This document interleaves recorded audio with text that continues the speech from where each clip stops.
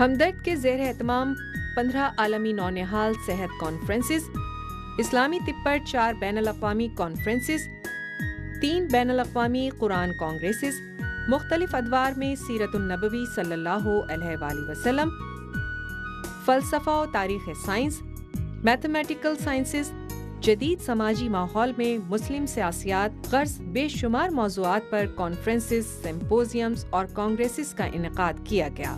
مشہور سائنسدان ابن الحسم اور البیرونی پر چار شہروں میں کانفرنسز کا انعقاد کیا گیا۔ اس کے علاوہ ایلیمنٹولوجی پر کانفرنس بھی اہم کارنامہ ہے۔ مدینت الحکمہ، یہ تھا حکیم محمد سعید کا وہ خواب کہ جس کی تعبیر خواب سے بھی بڑھ کر تھی۔ City of education science and culture یعنی مدینت الحکمہ۔ زمین کے لیے وہ جگہ منتخب کی گئی کہ جہاں فاتح سندھ محمد بن قاسم نے اسلام کا پرچم لہرایا۔ کراچی سے ستائیس کلومیٹر دور ناردرن بائی پاس پر۔ اب شکست دینی تھی جہالت کو، اور لہرانا تھا علم کا پرچم چار سو۔ یہ ویژن اور مشن کی بات تھی۔ کمٹمنٹ اور ڈیڈیکیشن تھا۔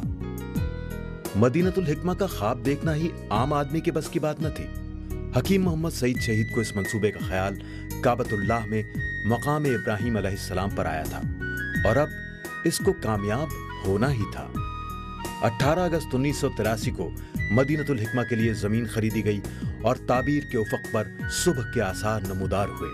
چار ماہ بعد ایک تقریب سنگ احساس منعقد ہوئی جس میں ہمدرد انڈیا کے واقف متولی حکیم عبد الحمید کے علاوہ پاکستان میں متعین غیر ملکی سفرا اور کونسل جنرلز کے ساتھ ساتھ صاحب علم و حکمت جمع ہوئے اور ہر ایک نے ایک ایک اینٹ رکھ دی۔ تخیل سے تعبیر کا عمل تیز تر ہوا اور اس وقت کے صدر پاکستان نے ستائیس رمضان کو مدینت الحکمہ میں ہمدرد یونیورسٹی کا سنگ بنیاد رکھ دیا۔ اب کامیابی کا سفر تھا اور ہر نشان سنگ میل بنتا جا رہا تھا۔ بیت الحکمہ لائبریری سے لے کر مختلف فیکلٹیز اور اسکول کالجز کے سنگ بنیاد و افتتاح کے لیے مختلف شخصیات آتی رہیں۔ آئیے دیکھتے ہیں مدینت الحکمہ میں کیا کیا مائل سٹونز ہیں۔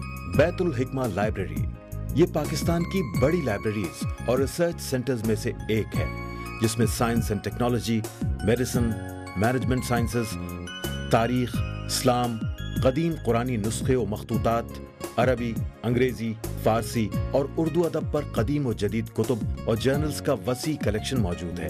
وسیع رقبے پر پھیلی اس لائبریری میں آدھا ملین کتب پیریوڈیکلز اور جرنلز موجود ہیں۔